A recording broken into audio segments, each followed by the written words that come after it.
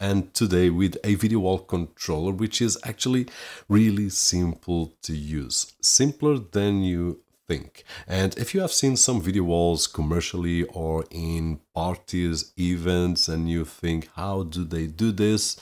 I will share with you how you can do this with a simple device such as this. Actually not very simple but it will make our life very simple. Now we will be able to have a maximum of 4K displays. We can have an arrangement of 2 by 2 4 horizontally, 4 vertically, or if we want, we can go to 3 vertically or 3 horizontal. Now let's take a look at the connectivity so that we understand how this works.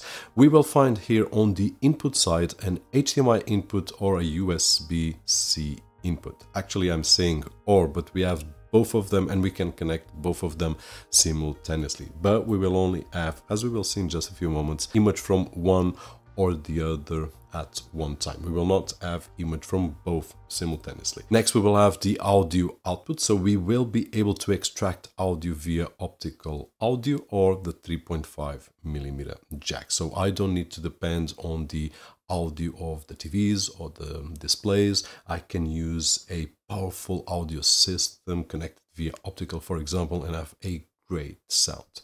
Then we also have the video wall output and basically these are four HDMI outputs that we will be able to control as I will have the chance to show you in just a few moments in several different ways. Then we have the RS232 and also an infrared extension plug and a DC in. At the front we will have the power button, we will have the LED indication for HDMI, USB Type-C or auto, which we will see in just a few moments working. And then we also have buttons for HDMI selection, USB Type-C selection, the mode and reset. And basically this is it regarding the video controller. Now one thing that it has in common with all our devices that we have seen is that the construction is just awesome, all metallic and it comes with all the accessories. That's how we live towards the end for the unboxing but one of the options that we can have is to mount it on any surface it has rubber feet but we also have an accessory that we can mount it on a shelf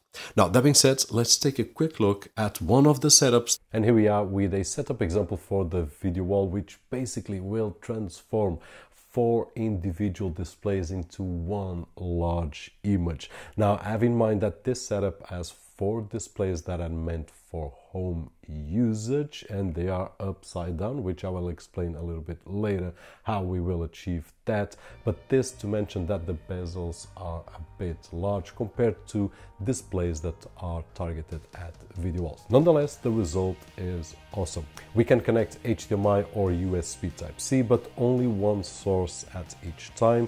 We have the 180 degrees function, which I will demonstrate. We also have auto switching support, so if I disconnect the USB Type-C, it will go automatically to HDMI, or if I disconnect the HDMI, it will go automatically to USB Type-C.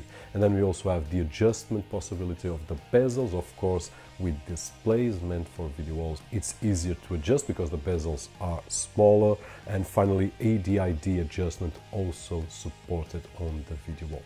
Now, regarding the control, we can control via the remote control or we can control via the video. For example, if I want to change between HDMI and USB Type-C, I can just press this button of the USB Type-C and we can see the LED indication that it did switch from HDMI to USB Type-C. So at this moment we have this laptop MacBook Pro right over here, which instead of four individual displays, it has this huge display right over here, which makes a awesome setup. Now if I want to change to HDMI, I can just press the button and it will go to HDMI. Now besides that button, we can also change the mode here and do a reset on the last button, but we will make some changes with the remote control, which basically will have everything that the video wall has, plus a few more. The rotation, the resolution, modes, and then the bezel horizontal and vertical adjustment. Now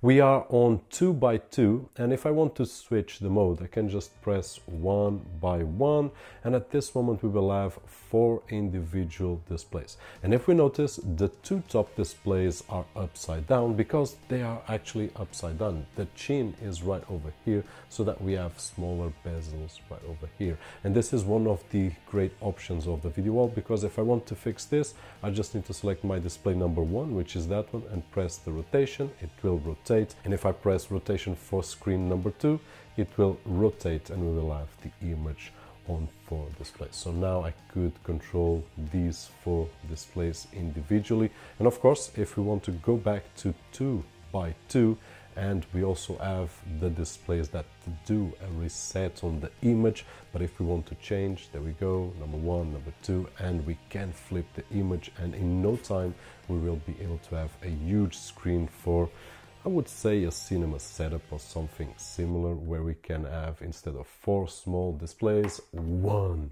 really large display. Now in this particular case if I want to change to USB Type-C just press the button on the remote or on the video wall and it will go to USB Type-C or to HDMI in this particular case. So the modes that we can have at this moment is the 1 by 1 and 2 by 2 All the other modes will depend on the number of the displays that we have and on the arrangement. We may have up to 4 displays horizontally, 4 displays vertically, 3 displays horizontally or 3 displays vertically among some other modes that we can use. And besides all this, we don't need to depend on the audio output of the displays. We will be able to extract the audio and pass it to our stereo, giving it a richer experience on the image side and also on the audio side. And it's as simple as we have seen. It supports up to 4K 60Hz on for this place. Link down below with all these specifications and the ways that you can use them, also availability and the price that you can get at this moment. And honestly, I thought that it would be a lot more expensive because when we see these effects with multiple displays, we always think of a bigger device and a lot more complex and it's actually really simple at a really nice price. That being said, hope that the video was helpful in some way and if it was, don't forget the usual thumbs up right over there which is really appreciated on this side of the screen. My name is Roberto Jorge and as always, I'll see you on the next one.